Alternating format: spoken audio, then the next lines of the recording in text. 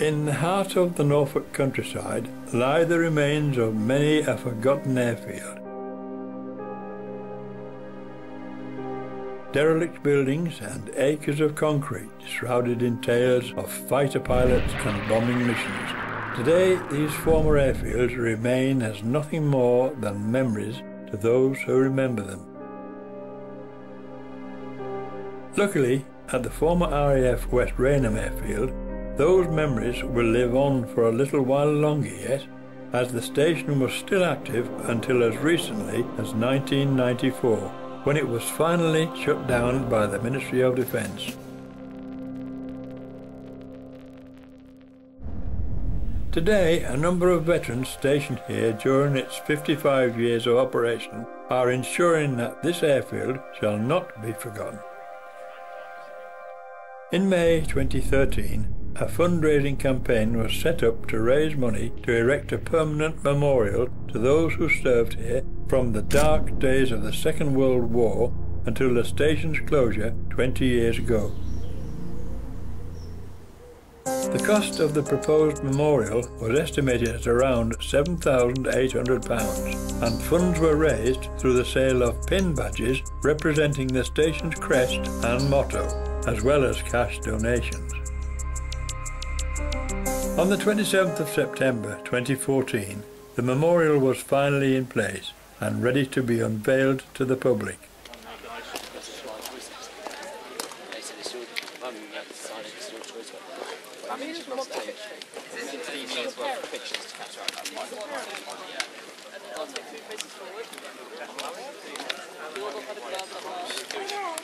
Guard of honor! March on the squadron banners! Either centre, quick, march!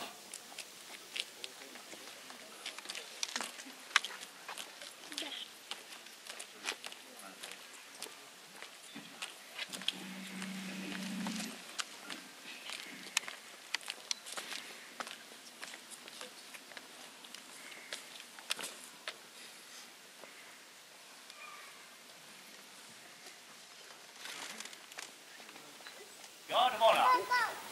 Order! Banners!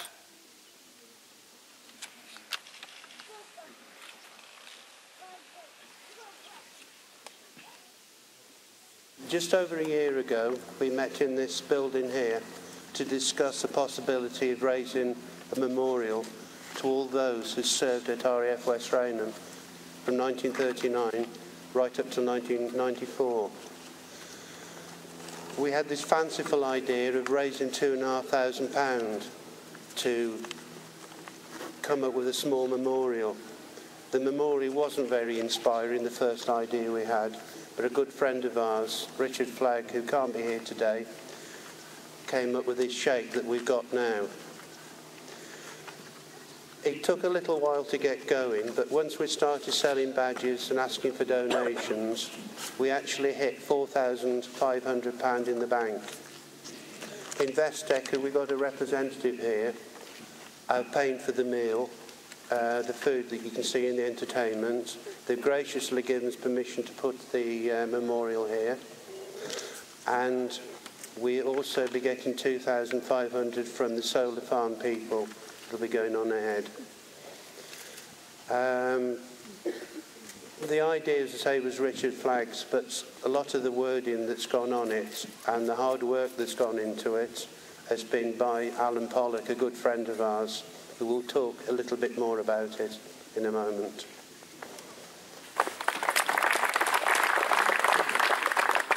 Uh, this is a family occasion, and I don't know if, whether the Air Training Corps are allowed to stand at ease and stand easy for a while. Uh, the Royal Air Force, as you know, really was all to do with the squadrons, and it was very difficult, really, um, knowing how to concentrate on what should go on the memorial.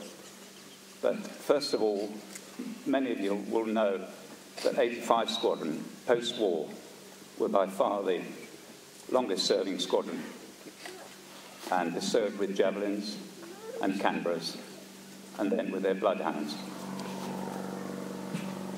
Uh, everyone really felt a sense of ownership of their squadrons And I'd just like to thank Paul uh, for all he's done for every one of us and every one of these squadrons.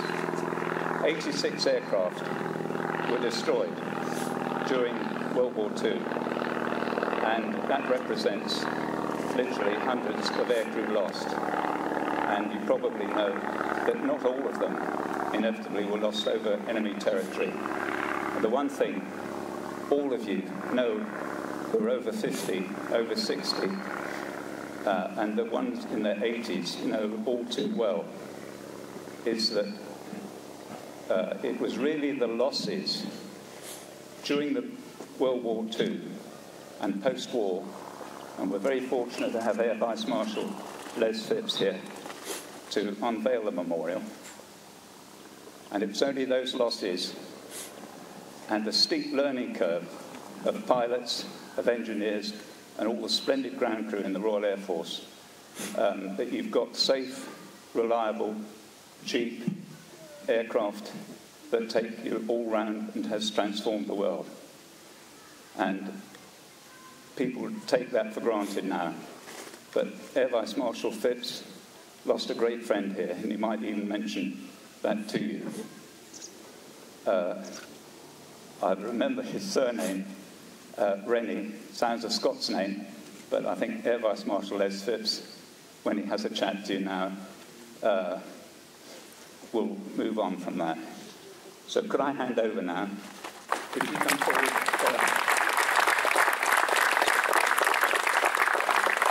Well, ladies and gentlemen, it is a privilege and a pleasure for me to be here today. Uh, it's a privilege because I'm only one of many people, a great many people, who've served here, both service and civilian, in war and peace. It's a pleasure because it's so nice to be in Norfolk again. Those who, were, who are here at West Raynham, I think all will say how much they enjoyed being at a very happy, a very good station. We also got to know the local Norfolk area very well. We took a special interest in the SSSIs, the sites of special social interest. And I can tell you, if you look in the Good Pub Guide today, you'll see most of those sites of special social interest are listed there, which is very good. It's uh, interesting, of course, that we're here 75 years after the station opened and 20 years after it closed. All of those squadrons which Alan referred to during the war, there are too many to list, but we know that in May 1939 we had the Blenheims come, and then towards the end of the war we had the famous mosquitoes. And may I say, we are absolutely honoured to see with us here today uh, Wing Commander Don Webb, DFM, who was with the Mosquitoes and earned his award uh, during op- mosquito operations in an incident which he may have told you about if he can still remember. Anyway, after the war, the main unit here for a long time, as people will know, was the Central Fighter Establishment, CFE.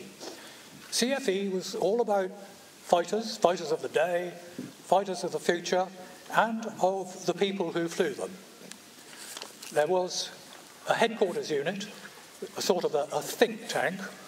There was a unit which did flying trials of the aircraft of the day and of the future, and an advanced fighter pilot combat training school. The aircraft here were in peacetime, far too many to list, but just going through one or two of those with CFE, we had, I think, Vampires, Venoms, Meteors, Hunters, javelins, and if I've missed anything out, I'm sure there'll be somebody here who can tell me. I was a lucky lad because I was able, as well as having a desk in the think tank, also to be able to do a lot of flying with the hunters of the Day Fighter Combat School. Now, I used to spend a bit of time, as well as flying the Lightnings and the Hunters, used to spend a bit of time flying the Chipmunks with air cadets. And I'm just wondering, just wondering if there might be uh, somebody here today who I would have flown in a chipmunk all those years ago. Probably unlikely, always worth a try though. Now, with CFE at the time were 85 Squadron. We've already heard quite a bit about the famous 85, and again, it's good to see, tremendous to see, um, Group Captain Ed Durham here today, who later on became a station commander of West Raynham himself. After CFE had moved, uh, there were the famous squadrons of 1 and 54 Squadron. Alan Pollock, of course, was part of that.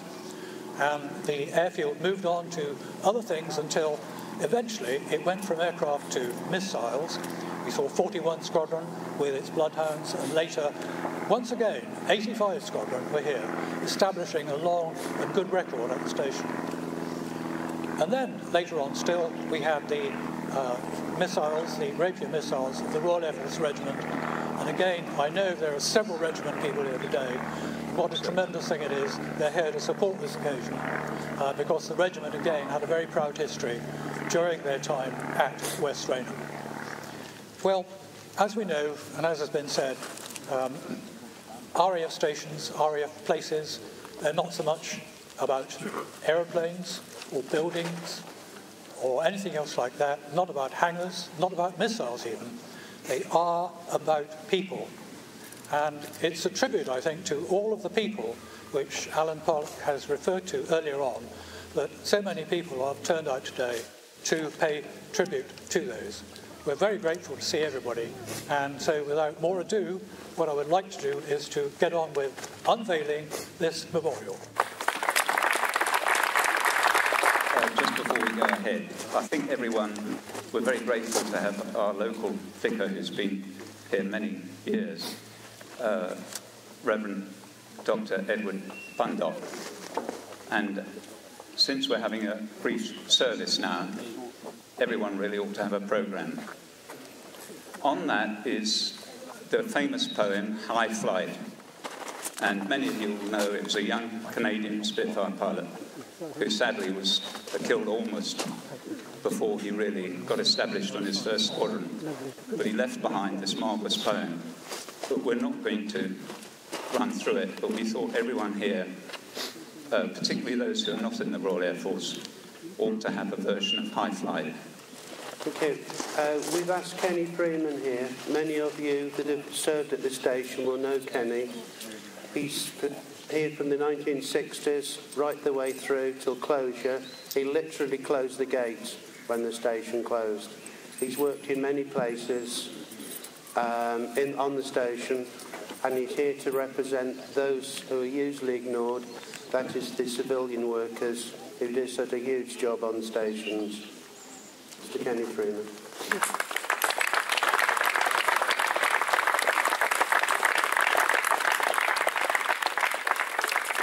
Like. I think we have someone here who's going to lay the wreath on behalf of the Royal Artillery. Well, lacking that, have we anyone, not from the artillery, but from the army, who would like to lay this wreath? Richard Leach, thank you very much. Would you please?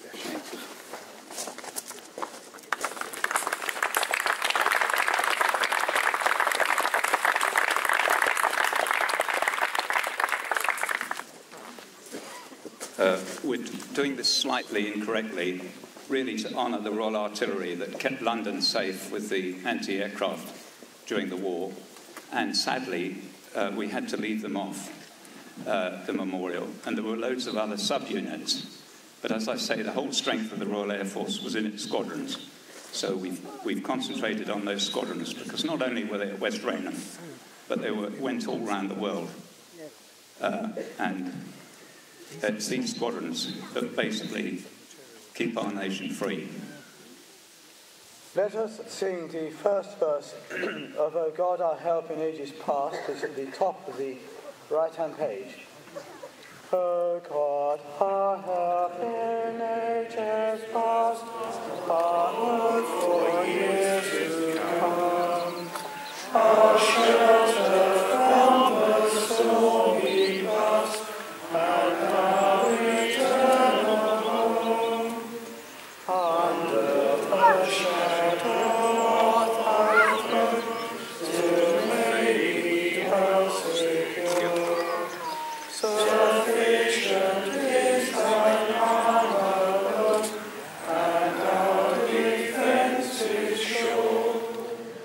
comes the blessing of the memorial.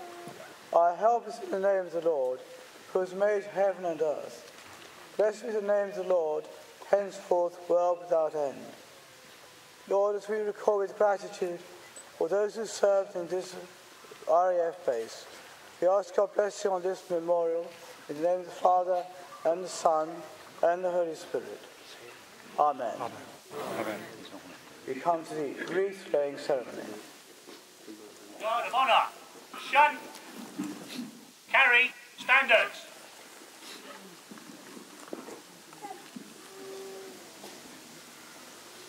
Uh, I think we'd like to start with the British Legion, and if also we could have, on behalf of the Royal Air Force, think jointly. Uh, we've got Father Ed, Wing Commander Ashley Mitchell, on behalf of Marham. Round the front. Yep. Think round the front.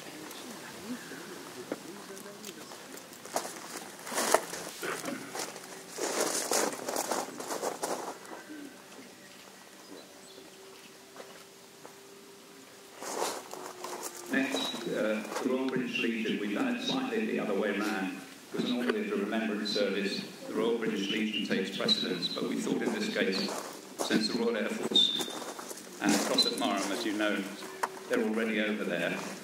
Those three marvelous squadrons that they've got, two squadron, nine squadron, and 31 squadron, very actively involved, and that's part of the reason we haven't got the station commander. That's uh, Group Captain Harvey Smith. Sorry, uh, a last request. We were hoping to have someone from the Royal Navy here, from the Fleet Air Arm Association, but I'm afraid he's too old and infirm to actually get here. Have we got any Navy people here? Fleet Air Arm? Jason. Uh, people have come from all over Britain, and I'm afraid, sadly, on the wartime squadrons, uh, they're very aged and infirm, and we were expecting one or two to arrive who haven't been able to.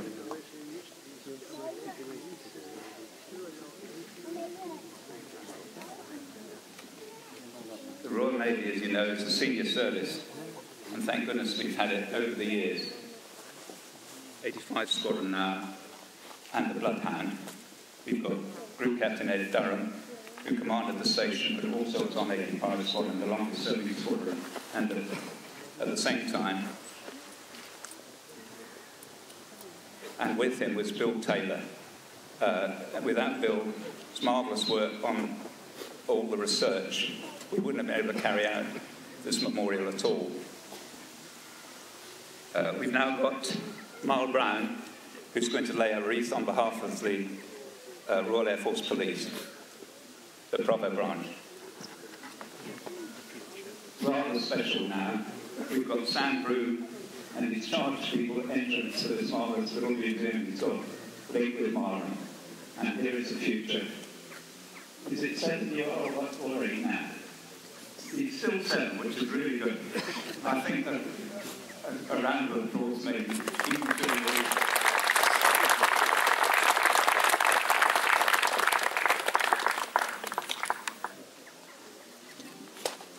Isn't that marvellous? Well, as I say, it's a family and informal affair, and what a marvellous effort. And he raised exactly £26. Lastly, and again, the future, uh, we've got five faces to fill. Um, it's a hexagonal design, really, by 85 Squadron when they were here to celebrate how long they were there at uh, West Raynham.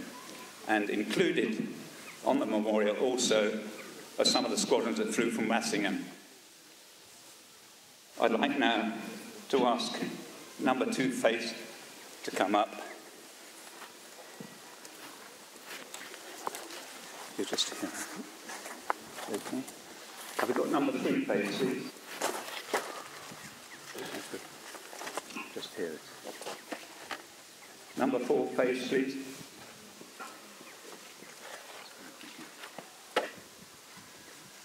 Number five, please.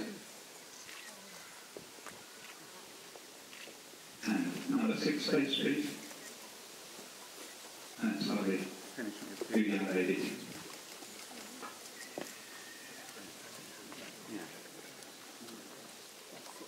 Yeah, I'm sorry, we've got slightly out of order there. We've got Wing Commander uh, Don Webb, Distinguished Flying Medal. Um, they were even more precious than the Distinguished Flying Crosses, and it's splendid to have this marvellous Mosquito Man from 239 Squadron with us today.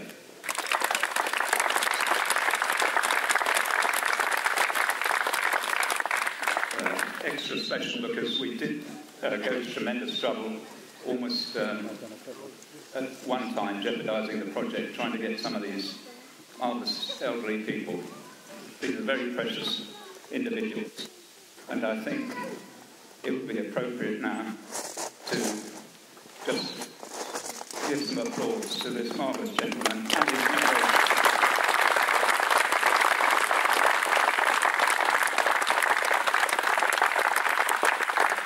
Last post. We shall grow not old as we that are left old. Age shall not weary them, nor the years condemn. At the going down of the sun and in the morning, we will remember them.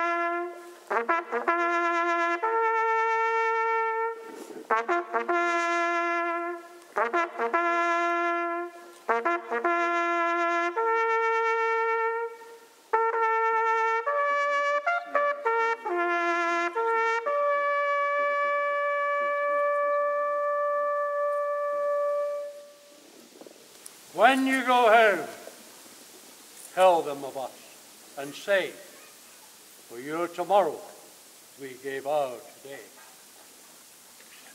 Lord Jesus Christ, you are the resurrection and the life. We pray for the repose of the souls, all those who've lost their lives in war. Grant them your peace.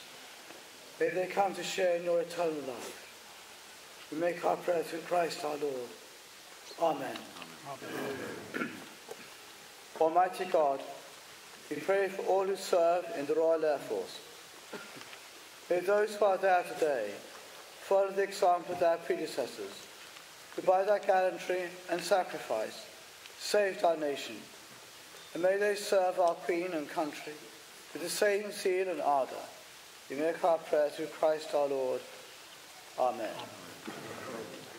We sing the national anthem, the first verse. Our gracious Queen,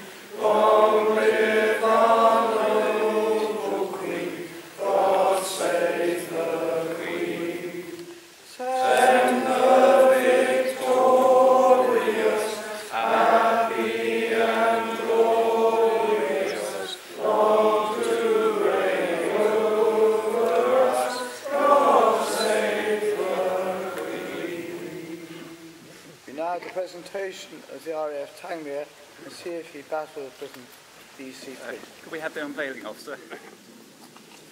Emma. I'd like you to hand that over, if you will. Uh, this really, in a way, is a gift uh, from Tangmere, linked really through Dunsfold. And it commemorates the only fighter command Battle of Britain Victoria Cross holder, who was Wickham Nicolson, who sadly, uh, later in the war, did extremely well in the Far East, flying Beaufighters. Uh, then he was promoted after commanding 249 Squadron, had a staff job, and he was flying the Liberator, which sadly had to ditch, and only two survived so he never completed the end of the war. Uh, my wife and myself knew dear Muriel Nicolson, who did so much for the War Widows campaign, and the late Mrs. Iris Strange, because without her noble efforts, and also those on the British Legion and other war widows, that great stain on our national honour, uh, which stayed there until 1989, uh, hadn't been removed. So now, I'd like Emma to say, it's rather heavy. I think some gentlemen might have on behalf of the community. And it's great that someone has come over. I think somebody's giving us a. We did ask uh, two or three places that we could have some air noise, and it's rather splendid that they've come and uh, our service under the lane, that took a little longer. You have 300, over 306 signatures on, the, on this print. So all the best to RAF West Raynham in the future and the community, the Kittens community.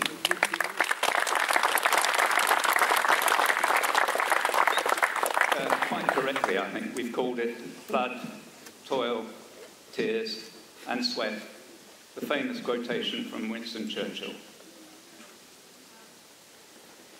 And now we complete with the final blessing.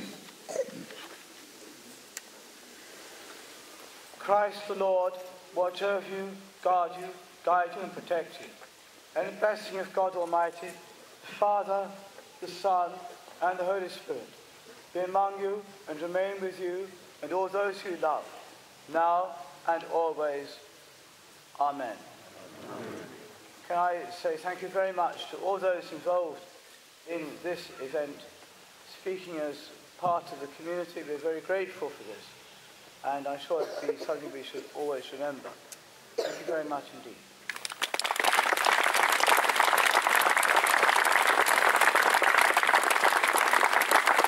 Just one last word, and that is a very big thank you to Paul Lloyd, because many of us, I'm afraid, particularly my age, the last thing they want to be involved in is social media. But Paul, when he left the Royal Air Force, he went all over the place with it. Uh, he was here, I think, between 71 and 75 from memory, and he was a supplier. And logistics really is the key to success in all the campaigns making certain that the aircraft and the people that service them actually can do their job. And Paul's a splendid example of that.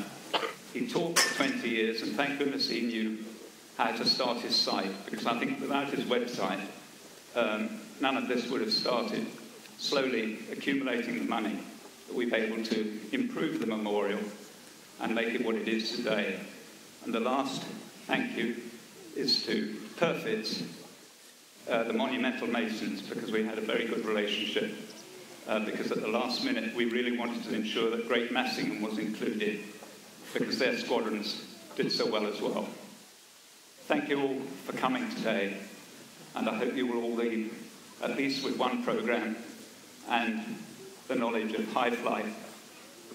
Thank you very much.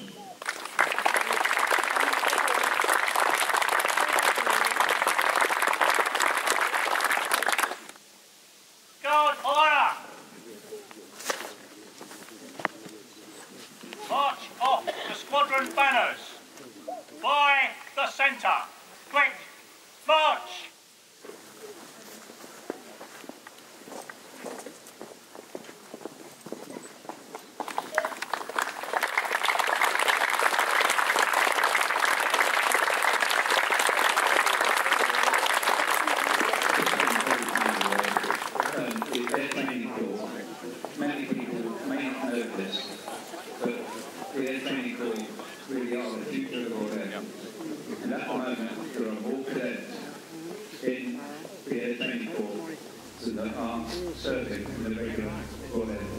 The ceremony was followed by an aerobatic display by Henry Labouchere.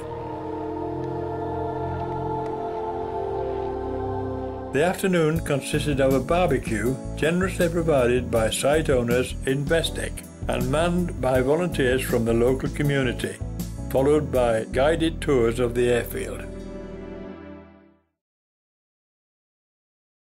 The site still boasts many original wartime buildings, including the accommodation blocks, water tower and the four C-type hangars which dominate the skyline. Also remaining is the imposing post-war control tower, built in 1945, which replaced a smaller watch office dating from 1943.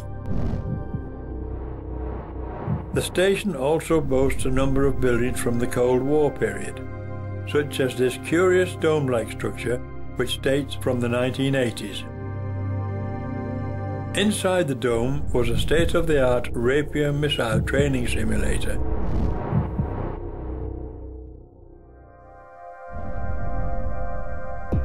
Today, the station's technical site forms a fledgling industrial park, while the station's former married quarters have been refurbished to form a new housing development known as the Kiptons.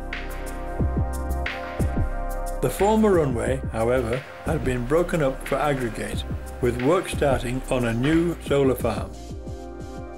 But while the airfield's impression on the landscape fades into the history books, its impression in the hearts of the families of those who served here will remain indefinitely.